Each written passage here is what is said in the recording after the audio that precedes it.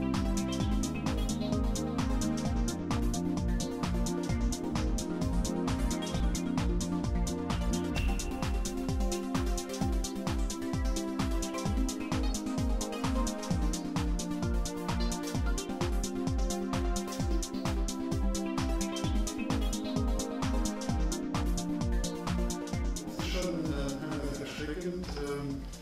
wie viel wir glauben, über die Türkei zu wissen, wie wenig es dann auch ist. Erstmal schön, dass ihr alle da seid. Leila ist keine Bürgermeisterin mehr, wie man das ja auch im Film sieht.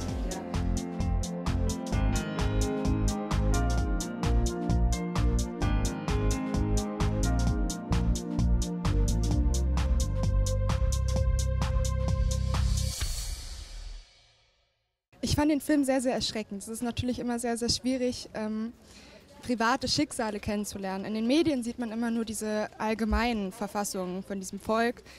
Aber in diesem Film wurden halt auch speziell die Schicksale der Kinder gezeigt, die jetzt zum Beispiel diese Ausschreitung mitbekommen und wie sie, wie sie dadurch ihr Leben geprägt bekommen.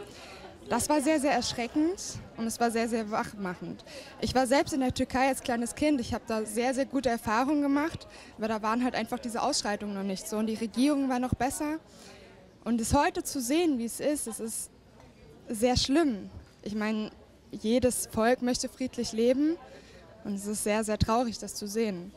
Er regt zum Nachdenken an. Ich denke, der Prozess äh, startet jetzt langsam. Ich habe es auch, ich denke, ein bisschen mehr als äh, der normale Schüler schon verfolgt in den Medien.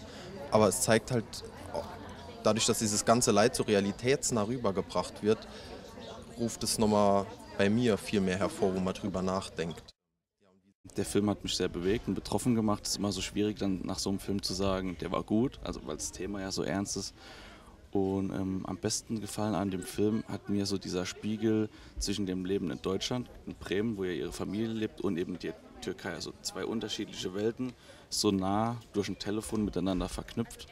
Das war schon etwas, was mich sehr, ähm, ja, dieser, dieser Identitätskonflikt in ihr auch selbst, warum sie dann das Land auf Deutschland verlassen hat und zurückging, so der innere Kampf mit sich selbst, das hat mir am Film sehr gut gefallen. Also ich fand es auf jeden Fall beeindruckend, dass die Kameraleute einfach in das Land eingereist sind und haben den Film auch selbst gedreht.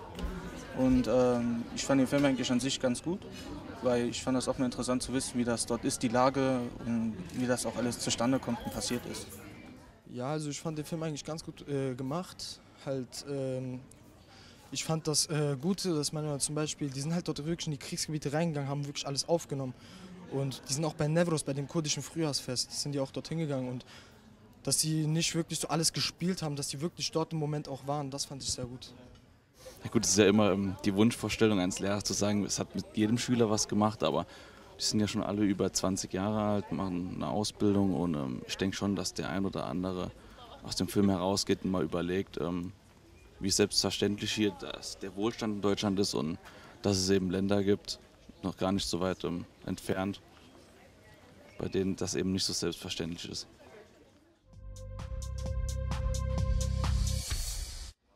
Ganz ehrlich, ich habe da ähm, meine Vorstellung gehabt, dass es gerade in der Türkei sehr eingeschränkte ähm, Gleichberechtigung gibt, gerade was Frauen betrifft, ähm, dass die Frauen relativ unterdrückt werden. Und es war sehr überraschend, dass eine weibliche Bürgermeisterin so viel, so viel Erfolg haben kann.